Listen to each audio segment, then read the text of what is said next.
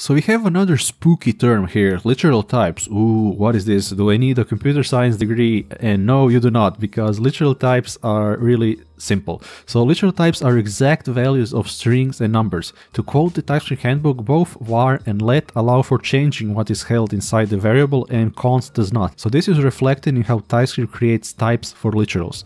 So TypeScript has string, number and boolean literals. The boolean type itself is just an alias for the true or false union, which is really interesting when you think about it.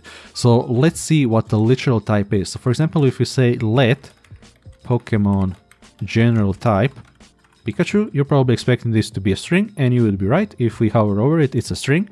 But what is a literal version of this, and how is this useful to us? So if we have Pokemon literal type, and if we say Pikachu, because we're using const, it's unlikely that the value is going to change, so when we hover over it, instead of being string, it's the literal representation of the string, so it's Pikachu. So how can this be helpful? This concept is more useful if we combine type literals with unions. So for example, we can create a function move Pokemon, and then we can specify an argument direction. We can say up, we can say right, so imagine this is some game. Then we can say left, and the implementation can be whatever. So now when we say move Pokemon, and then when we use auto completion, we get all these wonderful options. Yeah, so we can say up, and if we goof up, if we have right, is going to complain at us, it is going to let us what we should use. So argument of type rit is not assignable to any of those things. So this is really awesome. So let's talk about another spooky sounding term, which is literal inference. So literal inference is when TypeScript thinks properties on an object might change. So instead of inferring a literal type, it infers a primitive type. Exactly what we've seen before. So we can see how this looks in practice, right? Examples, examples.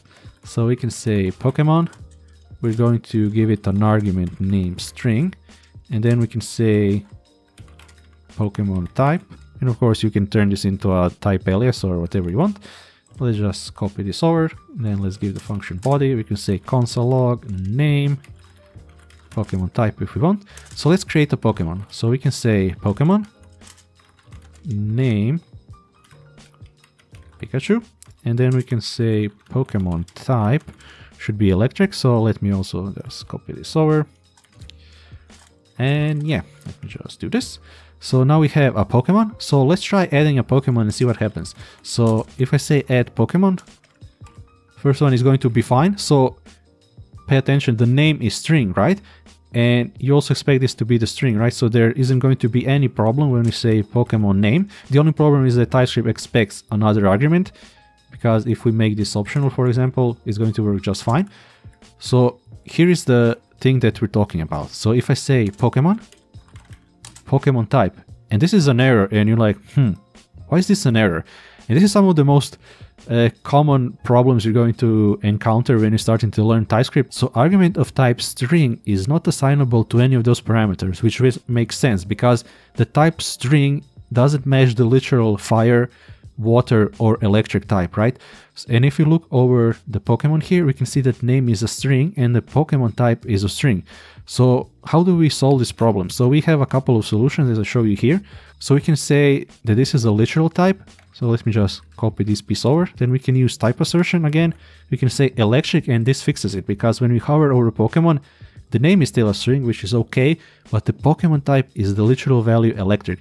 But there's really better methods of doing it. So we can use the as const method, which is going to turn the entire object into a literal type. So we can see it turns it into this type, which is read-only name Pikachu, read-only Pokemon type electric, which is the literal type.